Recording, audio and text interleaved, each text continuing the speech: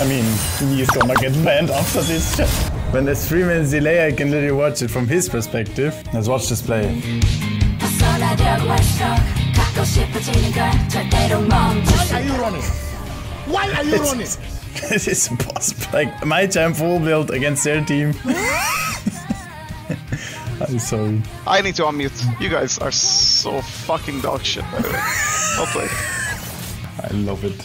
Defo is one of the most sane, crazy streamer. I love it.